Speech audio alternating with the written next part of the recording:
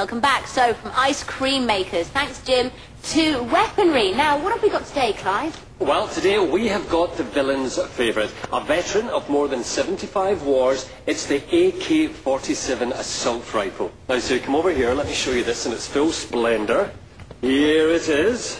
Beautiful. Now, we have 10,000 of these in secret locations outside the UK to sell today. I might have to treat myself to one, I think. Now, the phone lines are open, folks, so give us a call, and if you call within the hour, there's a free gift with every purchase.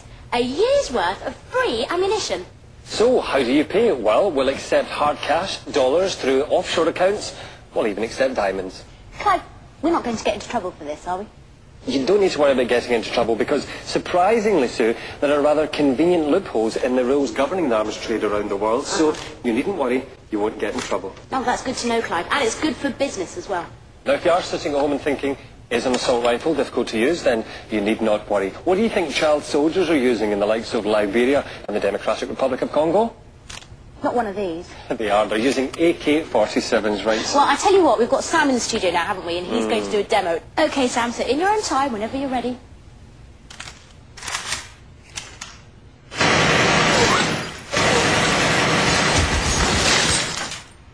Wow, that is that. seriously impressive. Now, if hmm. you like what you've just seen there, then get phoning. I personally think that is very, very impressive. Hmm, but look, head, lungs, heart, obliterated, fantastic. Absolutely. So, guys, if you like the look of what you've just seen, then make sure you pick up that phone now. The number's on your screen. That's right, don't miss out. Okay, we'll be back shortly, but uh, what's coming up, Sue?